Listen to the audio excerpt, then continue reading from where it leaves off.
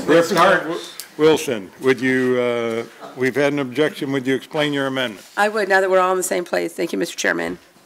So this is in AYK Region Fisheries Management Building Materials, and FY17 actuals for 26,000, and FY19 Governor, 227,200, a decrease of 100,000, leaves 127,200 for building materials. In FY eighteen, the Department of Fish and Game eliminated the Fish and Game State Facilities Rent allocation and reallocated two million, one hundred and twenty-five thousand dollars of UGF funding for various divisions. The $2,125,000 was transferred from the Fish and Game State Facilities Rent allocation to the service line, uh, in the following allocations. Commercial fisheries, statewide fisheries management received one million twenty-five thousand of that money. Wildlife conservation received five hundred and forty thousand, and sport fisheries received five hundred and sixty thousand.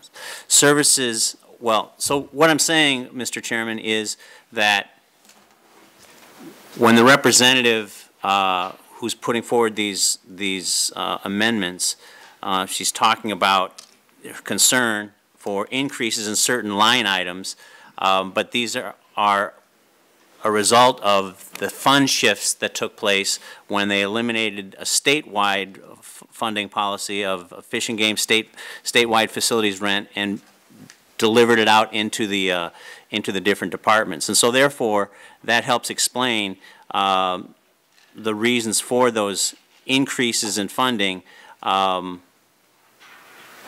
that they're not actual increases, that they're just a transfer of monies. And this would be true for the amendments that we heard yesterday, uh, 5, 6, 7, 8, and for the ones we're going to hear today, 9, 10, 11, 12, and 13. It helps explain why there's these increase in funds uh, asked for in, the, in this year's budget. So I just thought that that might clarify, uh, quote, your, your general question as to where, why do we need these increases? It is, it's on page 10, actually, in the book. Um, General funds of 1,025,000, um, but it's- in its own line item, it is not reflected in these amendments, because it's in a different part of your budget in commercial fisheries. So, I mean, I'm just trying, you know, I, I am agreeing that you did transfer that in to all the different areas that Representative Ortiz said, but it is not um, part of the reflection of the increases in these particular um, parts of the fish and game budget. It did not affect your building materials or the other services we talked about uh, yesterday. It's actually in its own line item of increase in services. Right, and through, and You do have the option of being able to move your funds around. Yes. Um, Where my concern is, and, and, and for some of these amendments, is when we start moving hundreds of thousands of dollars around, and sometimes even millions of dollars, then you have to find, figure out whether or not, what missed the mark. You know, are we spending a lot more money in an area that we didn't think we were? And is that something that, the- that the legislature wants to be able to do? Um, So I understand that these numbers wouldn't be exact, and that's why I didn't take the numbers back to actuals FY seventeen, because that would not have been fair to have done. But I only took the ones that had big gains to it. I also made sure that personnel was not affected. I made, we, we did detail to where we looked at the personnel, took out the federal funds, took out the general fund, the match, never touched any general fund match. So when we got down to this level, to start being that far off is concerning when we are the ones that appropriate the funds. So I understand what you're saying. Um, But this particular instant, the rent, has really no impact on the, on these two changes I have here. HDF, HGGF nine.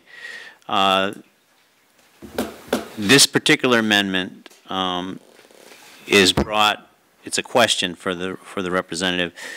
It's brought because of your concern that the lapse in funds uh, by UGF in this particular category was, your calculation what? Representative Wilson? Thank you, Mr. Chairman. It- First of all, it wasn't a lapse necessarily. I- I think the department spends every dime we get them, give them. Well, actually, they returned seventeen thousand eight, seventeen thousand dollars eight hundred. They didn't spend it all. They returned seventeen thousand eight hundred. What I am trying to Wait, do, wait a minute, let's, Okay, sorry, Mr. Chairman, going through the chair. sure, sorry. through the chair, Representative Ortiz. I have talked to several accountants from yesterday to today, because I was very concerned yesterday when we heard from OMB that we were getting too far down in the details. And really, we had no business to be in the details, which I completely disagree with. And so my conversation was, you know, how accurate should it be when we start getting down into the details? And um, I was told by, by the two that I talked to that, you know, when it starts getting a hundred thousand, especially a million dollars over, then your next question has to be to the department, why are you moving it over into other areas? Well, we didn't have, you know, I don't sit on Fish and Game, I didn't have that opportunity to have those kinds of discussions. What the message is to the departments for me is that I want to see more accuracy in these areas so that if we get to a point that we are going to add taxation, much less taking people's dividend, I want to be able to go back to North Pole, where I still live, um, and be able to explain that this is why we need the money. Um, but if these numbers are not accurate, because we're, truly, we should only be looking at travel, should be looking only at personnel and only looking on that first sheet, then that's a total different way of doing the budget that we're currently doing. And so we were told by the chair at the beginning that he didn't want to see unallocated cuts. So to take travel and say, I'm just going to cut five percent of travel was not what we were tasked to do.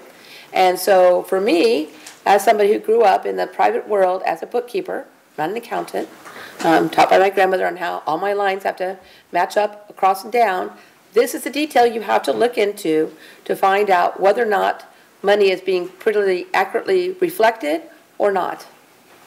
And that's why I went down into this detail. Trying to follow what the chair um, asked us to do, and also so that we have a better understanding where the money truly that we're giving the departments is being spent.